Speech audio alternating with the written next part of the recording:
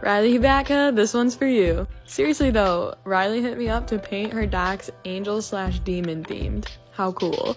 The origin of the word angel means messenger, and doves are considered spiritual messengers. They're birds that are close to God. And then there are crows, and even though they're actually really insightful creatures, they're considered bad luck and evil spirits, kind of like demons.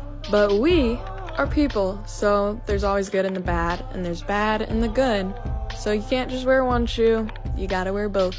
And get you a girl who can do both, like Riley Hubaka.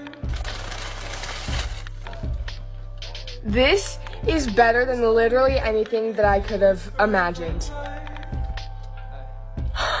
I'm literally going to wear these every single